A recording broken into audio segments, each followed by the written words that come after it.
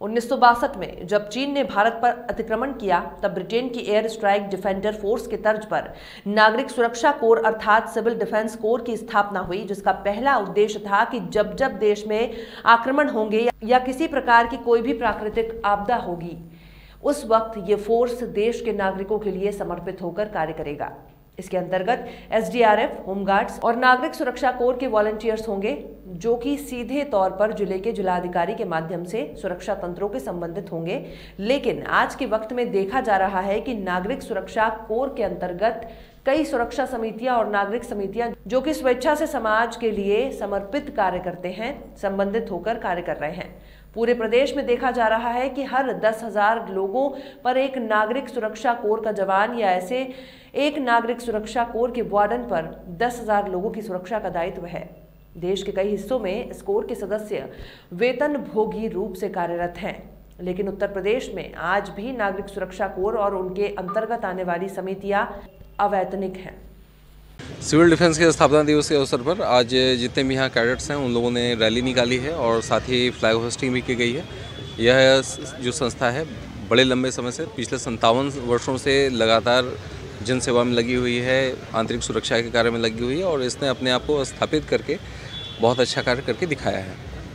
जिस तरह से योजनाओं के प्रचार में भी डिफेंस का सहारा लिया जा रहा है और किस एक्टिविटी में इनको आगे लाने की योजना बना रहे हैं? चूँकि समाज में बहुत अच्छी पकड़ है इस पूरे संस्था की तो इनका सहयोग हर कार्य में लिया जा रहा है जो भी समाज से जुड़े हुए कार्य हैं उसमें इनका सहयोग लिया जा रहा है।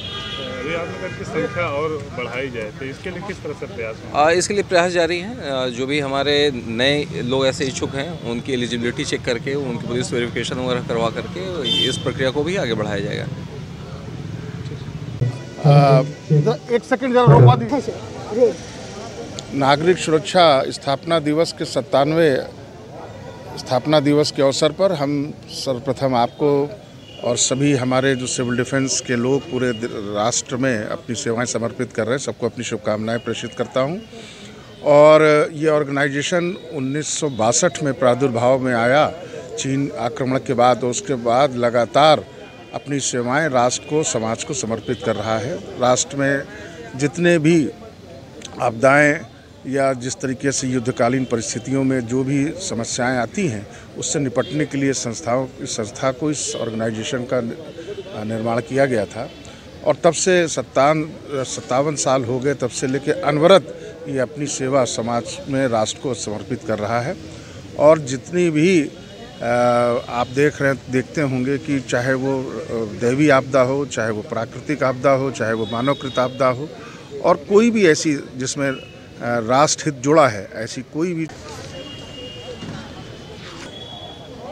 ये हमारे सिविल डिफेंस की स्थापना उन्नीस सौ बासठ में 6 दिसंबर को हुई थी। और उस समय जो स्थितियाँ थी हमारे देश के ऊपर वाह्य आक्रमण से संबंधित तो हवाई हमले से बचाव के लिए अगर इंटरनल कहीं बम्बार्डिंग हो जाती है तो उसको कैसे मैनेज किया जाए, लोगों का मनोबल बनाए रखा जाए आवश्यक आवश्यकताओं की जो पूर्तियाँ हैं जनरल सप्लाई है, उसको अनवरत चालू रखा जाए, कोई पैनिक न फैले।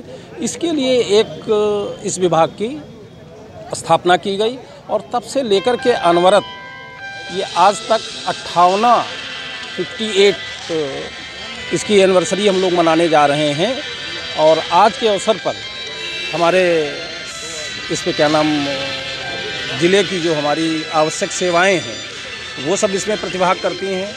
जिला अधिकारी महोदय द्वारा आज इसका ध्वजारोहण किया जाता है। और जो भी हमारे वार्डन सेवा के